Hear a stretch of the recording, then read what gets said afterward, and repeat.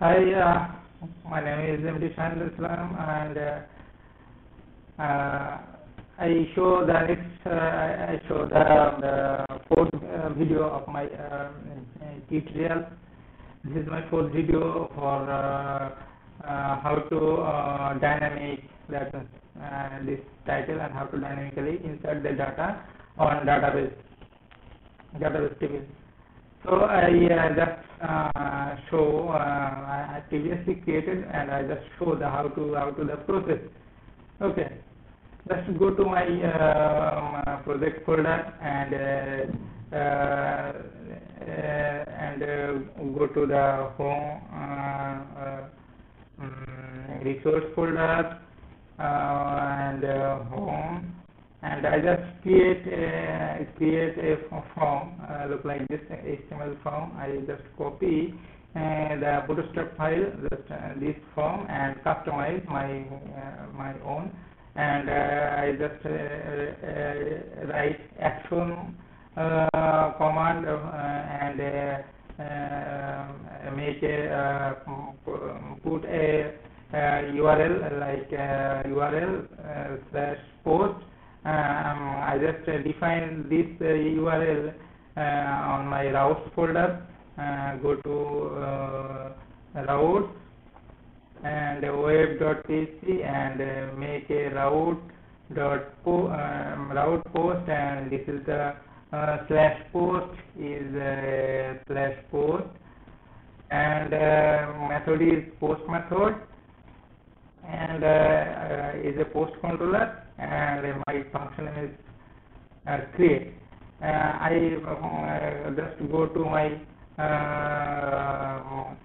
app HTTP controller and post controller. I just write a function name like post uh, like a create this is the this is the create uh, create and uh, request request uh, request name look like uh, like title, image, and description from uh, from to from this form. I just um, uh, input field, three input field like uh, title and uh, image name and description name and, and submit button. And this name is same as to the database and uh, this thing uh, or posting is this is the same. Uh, if you uh, type anything else uh, you, you, can get a error. So uh, um, must be ensure the this name is the same okay? And I just create and must be you can type the this uh, command uh, uh, the this line. Otherwise you cannot get the from data. You can show the they look like this.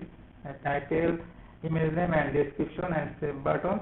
You you can um, just put the put your uh, test and uh, you, uh, you to validate validate this is the request and the request validate this uh, code. You can uh, type the required or other uh, condition. I just empty I just I, I just show the, the empty. And you can make whole, whole thing in a variable create variable. And um, type uh, write a post model this is the model uh, post model and create a function this function is by default by default and uh, put this variable your variable into this and uh, this is the uh, easy code and uh, after insert the um, data the web page, what is the web page it show? I just show the all posts. So with my return, with my home, just look like this, my index. And so I just, uh, uh, I, I, just uh, show the home page after the save. Okay. I just uh, title this my title this is the image name image name. And the description. The description. And the save just see this is.